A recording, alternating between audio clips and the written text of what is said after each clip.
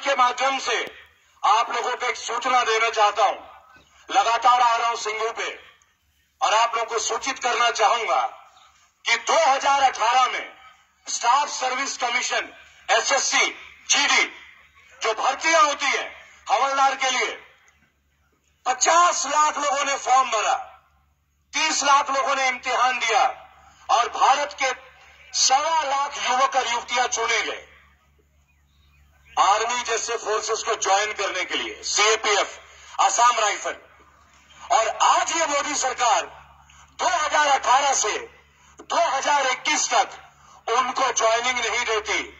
और ये कहती हम रोज़गार देंगे दोस्तों 14 फरवरी को देश के कोने कोने से तकरीबन डेढ़ लाख जवान आपके मुहिम में, आपके साथ कंधे से कंधे मिला के लड़ने के लिए आ रहे हैं। कंधे से कंधे मिला के। किसान मजदूर एकता। जिंदाबाद जिंदाबाद। किसान मजदूर एकता। जिंदाबाद जिंदाबाद। किसान एकता। जिंदाबाद जिंदाबाद। इनकलाब जिंदाबाद जिंदाबाद। दोस्तों ये डेढ़ लाख बच्चे जो कि जवान बन चुके सिलेक्शन हो गया। आपके साथ यही आएँगे आप चौदह फरवरी को। यही। आप लोगों के साथ कंधे से कंधे मिला के क्योंकि मैं हमेशा बोलता हूँ जवान जो है, वो किसान के घर पैदा होता है, नेताओं के घर पैदा नहीं होता है। नहीं होता है। क्या राजनाथ सिंह का बेटा जवान है? क्या निर्मला जी का बेटा जवान है?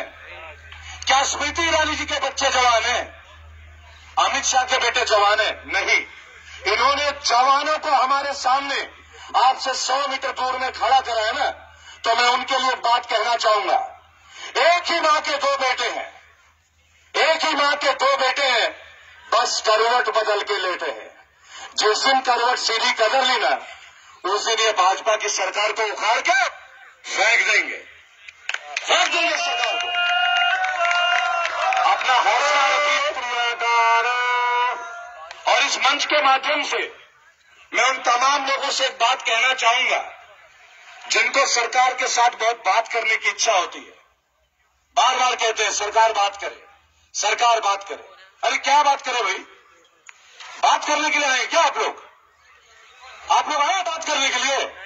नहीं है? तो क्या बोले? कोई कहता है दो अक्टूबर तक बात करेंगे। क्यों भाई?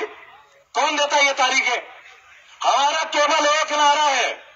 बिल वापसी घर वापसी। एक बार एक साथ बोलेंगे बिल वापसी। बिल वापसी। बिल वापसी। किसान मजदूर एकता किसान मजदूर एकता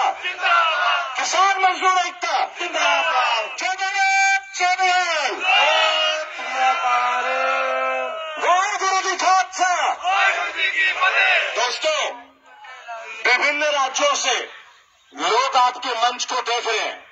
आप ये ना सोचे कि मीडिया आपको नहीं देख रही है। चौदह तारीख से पहले मीडिया को यहाँ आना मजबूर होना पड़ेगा। मजबूर होना पड़ेगा। क्योंकि इस आंदोलन में किसान और मजदूरों के साथ अब देश के चुने हुए डेढ़ लाख जवान भी आपके साथ कंधे से कंधे मिला के लड़ने के लिए आने वाले हैं, लेकिन संवैधानिक तौर पे। हमारा काम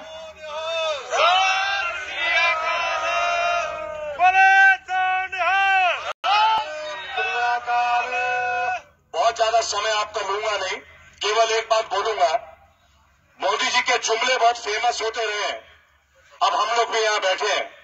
और हमारे पास बहुत सारा वक्त है आपस में बात करने के लिए। जब मैं यहीं से गुजरता हूँ तो कुछ विचार मेरे ऊपर भी आते हैं। तो मैंने सोचा, आप लोगों के माध्यम से मोदी जी को बार बार मोदी जी कहता अखंड भारत अखंड भारत अखंड भारत। तो मैंने कहा, चलिए चार लाइन के पंक्ति इनके लिए बता ही देते हैं, नहीं तो ये मानेंगे तो हमने मोदी जी के लिए कहा आओ कुछ नई बात करते हैं। आओ कुछ नई बात करते हैं जुमलों की बात फिर कभी करते हैं।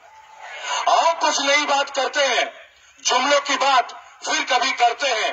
तुम जाओ ट्रंप के पास, हम सिंगू बॉर्डर चलते हैं। तुम जाओ ट्रंप के पास, हम सिंगू बॉर्डर चलते हैं।